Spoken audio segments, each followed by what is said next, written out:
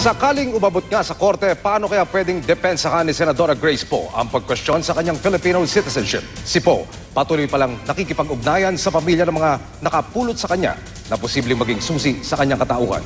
Saksi, si Jam Sisante. Meron po mga pahayag na maaaring determine yung uh, father ninyo. May mga kwento-kwento, pero wala nga lumalapit. Gusto ko rin makilala, syempre, yung aking mga magulang. Matagal ko nang hinahanap sila. Um, yeah. Lumaki bang may kinikilala at nagmamahal ng mga magulang, malaking tanong pa rin ngayon kay Poe kung sino ang tunay niyang ama't ina. Personal mang usapin, naging legal at political na rin itong issue. Sabi kasi ng tagapagsalita ni Vice President Jejomar Binay, stateless o wala siyang pagkamamamayan dahil inabandon na siya at hindi matukoy ang kanyang mga magulang.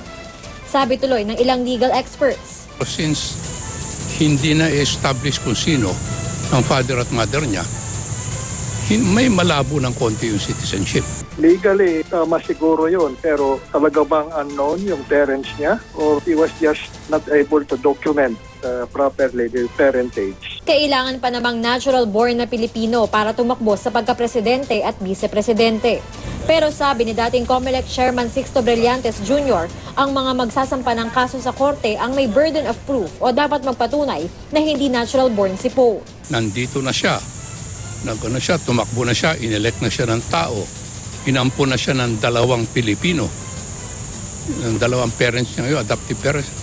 Lahat ng evidence shows na she is a Filipino. Pinuntahan ko ang komunidad na ito sa Haro, Iloilo kung saan daw dinala ang sanggol noon na si Poe ng isang Edgardo militar. Parang may kwintas ang anak, ang bata. Malinis ang bata. Sa pagkakaalam ng mga taga rito, ibinigay ni Edgardo ang bata sa hipag niyang si Sayong na siyang makikitang may dala sa kanya sa larawan ng kanyang binyag. Pero kwento-kwento na noon sa lugar na anak talaga ni Edgardo si Poe. Haka-haka lang ba? Na siya siguro eh. Bakit alam niya nga nandun bata sa binditahan, nakapatong. Yun ang nabantayan, ginaabangan niya siguro ang bata eh. Edgardo ayon sa kanyang apong si Victoria na nakausap ng GMA News kahapon. Gayunman, siya ang opisyal na kinikilalang nakatagpo kay Poe base sa founding paper ng senadora. Ipinagkatiwala si Poe ni Sayong Militar sa pinagsisilbihang pamilya Ledesma na siyang nagbigay sa kanya sa mag-asawang FPJ at Susan Roses. Itinanggi man ni Edgardo na siya ang ama, masama raw ang loob niya nang mapunta sa iba ang anak. Sabi ng anak ni Sayong bago mawala sa kanilang poder, Ako ang nagbabantay sa kanya eh. Parang kapatid na rin. Hanggang ngayon, tuloy pa rin ang komunikasyon ni Poe sa pamilya militar.